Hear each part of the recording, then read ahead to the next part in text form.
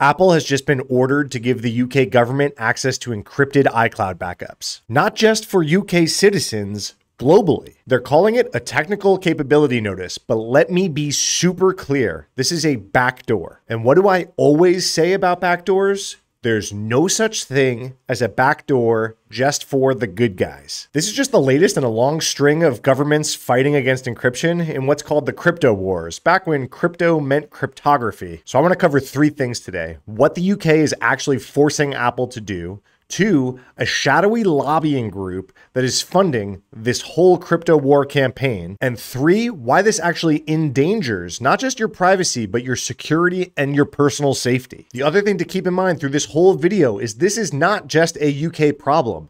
If Apple implements this, this impacts all Apple users and you better believe that other governments are going to start demanding similar of not just Apple, but all encrypted technologies. If you're new here, I'm Matt Johansen. I've been in cybersecurity for over 15 years. I've been on the offensive side, the defensive side. I've protected startups all the way up through the world's largest banks. Thanks for being here. Let's get into it. I want to start with what we know. Shout out to Joseph Menn at the Washington Post. He's considered must read in my household. He's the one who broke this story. One important bit I want to call out here in this headline is that this is a secret order that requires blanket access to protected cloud backups. Apple is not allowed to comment on what they're being asked to do here. This is all from investigative reporting that we know all of this. Right off the bat, the British government's undisclosed order. So, what we know is that this order requires blanket capability given to the UK government not assistance in cracking a specific account like with a warrant, blanket capability to view fully encrypted material. So, as I said, they're calling this request for a backdoor, they're calling it a technical capability notice. And this is stemming from a law passed in 2016 in the UK called the UK Investigatory Powers Act. Critics call it, and I like this one, the Snoopers Charter. One of the provisions of this law that I think is super important to talk about today is that it makes it a criminal offense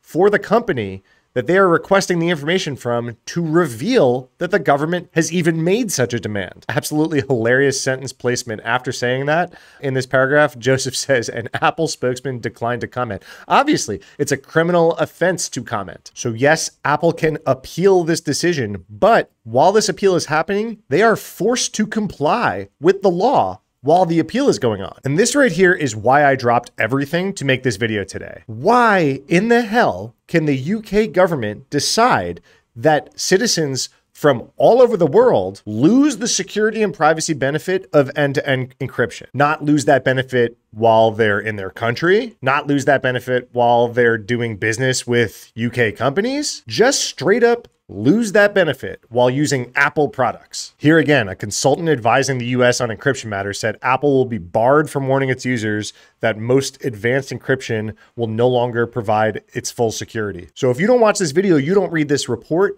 and you turn on the advanced security features on your iPhone, they cannot warn you on a device that actually everything that they're saying on the device isn't actually working the way that it used to. And just echoing here, shocking that the UK government was demanding Apple's help to spy on non British users without their government's knowledge. This is all coming down to a feature that Apple rolled out in 2022 called Advanced Data Protection. They were trying to roll it out for a while. The Trump administration didn't like it, said they didn't like the company for not aiding the arrest of killers, drug dealers, and other violent criminals. But the feature eventually came out. And what this is doing is completely end to end encrypting your iCloud backup. So not even Apple can access any of the stuff on the iCloud servers. This is not turned on by default. I'll show you guys how to turn it on if you're interested. By default, if Apple gets a warrant for your iCloud backup, they can address that warrant. If you turn this feature on, that capability is gone. So obviously, law enforcement authorities have complained about this feature since it rolled out. As this points out, a lot of your communication is encrypted to some degree, but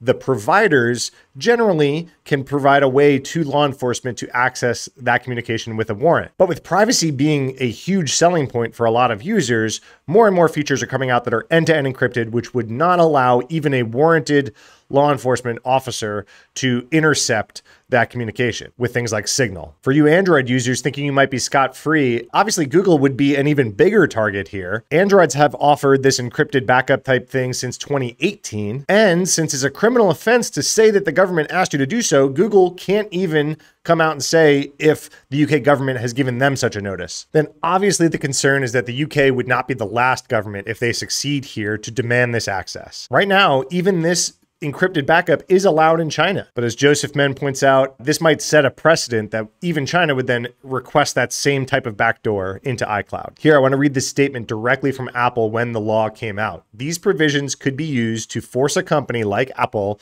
that would never build a backdoor into its products to publicly withdraw critical security features from the UK market, depriving UK users of these protections. They also go on to make a really good point that Europe is one of the bastions of user privacy. Look at all the GDPR requirements that we've all been implementing for years now. So I obviously have some major concerns here. A, like I said, a backdoor is never just a backdoor for the intended good guys to use. As we just saw with the US telecom wiretap system, a system that was built intentionally weakened the secure communications of texts and phone calls in the US to allow a warranted law enforcement agency to tap into those text messages and phone calls was just hacked by China and gave them the capability to do all the things that that law enforcement officer with the warrant could do. It went undetected for who knows how long, and they're not even sure if they've fully removed the threat yet. To the point that the US government is demanding that all of their federal employees not use text messages to talk to each other. That's as close to a game over scenario as I've ever heard. Text messages are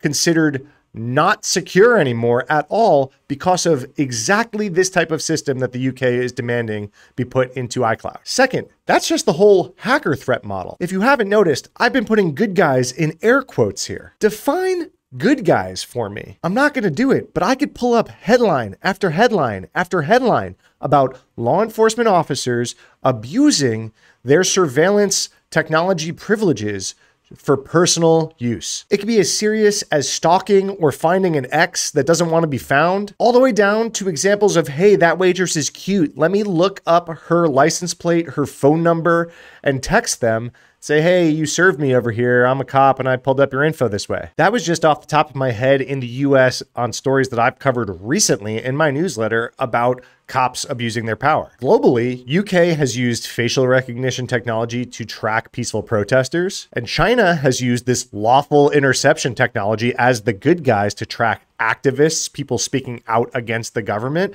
or even religious minorities. A backdoor doesn't just expose criminals, it exposes everybody. And if the UK gets this power, other governments are going to demand the same, and they're going to demand it of lots of different encryption technologies, not just iCloud. I've covered this story before. As you can tell, it's a hot button topic of mine. Going back to 2023, Again, I remembered this. I covered this in my newsletter. This awesome investigative report digging into who are these groups that are demanding that encryption be broken and how are they so well funded? Well, as this report digs in, it comes down to this group called the HEAT Initiative, that is a nonprofit advocating for child safety and saying that's why they need to break encryption because they need Apple to do their part to scan all of iCloud for CSAM. The HEAT Initiative even flew a plane with a banner on it over Apple headquarters. The banner said, Dear Apple, detect child sexual abuse in iCloud.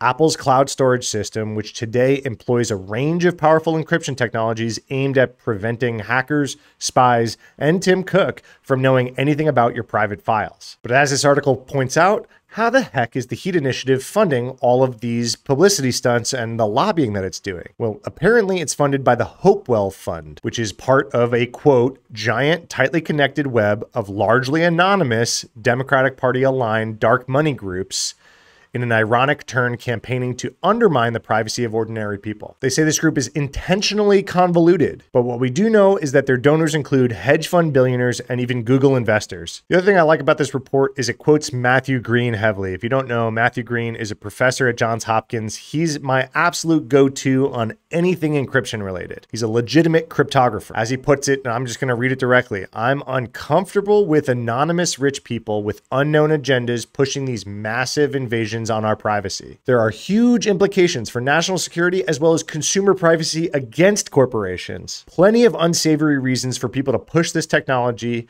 that have nothing to do with protecting children. I'm just going to keep quoting him because he's dead on. In the hierarchy of human privacy, your private files and photos should be your most important confidential possessions. We even wrote this into the US Constitution. We have to have some principles about what we'll give up to fight even heinous crime. And these proposals give up everything. So, what is their strategy? They're using an emotional argument like Save the Children to encourage and enable mass surveillance. Apple has already repeatedly rejected the demands of the Heat Initiative. They said in a letter scanning every user's privately stored iCloud data would create new threat vectors for data thieves to find and exploit, a la the China telecom hack. In plain English, this is nothing to do with safety, it's all about control. Once a scanning system like this is built, it won't stop at child safety. Governments will demand to be able to use it for anything and everything. This shouldn't be a political issue. When I say governments can use it to demand it for anything, I mean anything. You live in a state that makes it harder to receive women's health care, and you seek it out anyway by either traveling out of state or finding a doctor who's willing to do it in state. Well, this kind of scanning system would put you at risk from the government finding this out about you and punishing you. Are you part of a group that likes to go assemble and protests wearing masks and marching around city or federal capitol buildings? This system would allow the government to track and spy on you. I don't care which side of the aisle you sit on on this. We can't keep letting governments chip away at our rights and our privacy under the guise of safety and security. So what happens next? Either Apple can comply with the UK's demands, which means game over, in my opinion. Encryption and privacy are dead for the time being. They can remove this encryption feature from the UK, which means right away UK users are less secure. And I'm unsure what that means about their demands for Apple over UK's ability to spy on other citizens of the world. And three, they can fight back legally and appeal. But in the meantime, they still have to comply. If Apple gives in, Google and Meta are next. If they're not already receiving those types of orders, then we just don't know about it. If they hold the line, governments are going to push harder. Either way, our privacy is under attack right now. So, what can we do about it? Well, first of all, why don't we all go turn on the feature in Apple that the UK is trying to take away from us? If you don't already know, already know about it, it's in your settings. It's called Advanced Data Protection. Here are the requirements and some things that you need to know besides these requirements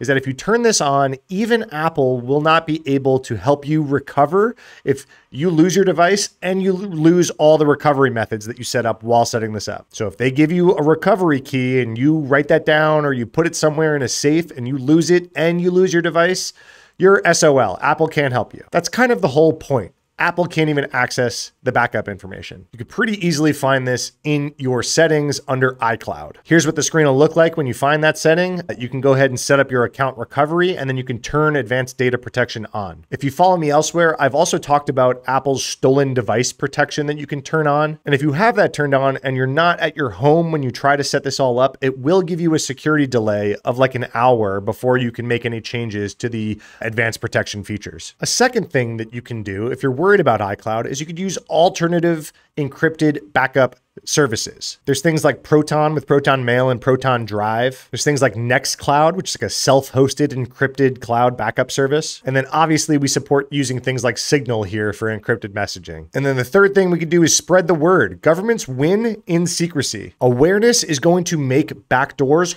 harder to push and implement. We can demand the Apples and the Googles and the Metas of the world fight back against these requests. What do you think is going to happen in the UK courts? I'm interested. Do you think Apple's going to cave? Do you think they're going to fight back and win? This is bigger than Apple. If they give in or lose, encryption and privacy are done being anywhere close to a right. It becomes a privilege at the behest of the government. If you care about privacy and security and you like more expert analysis like this, follow along, like, subscribe, turn on notifications, all that stuff. That helps me get this channel going as I start it. And I've been doing deeper write-ups on things like this over at vulnu.com. You can find the link below. Join my weekly newsletter. Thanks so much for being here. See you next time.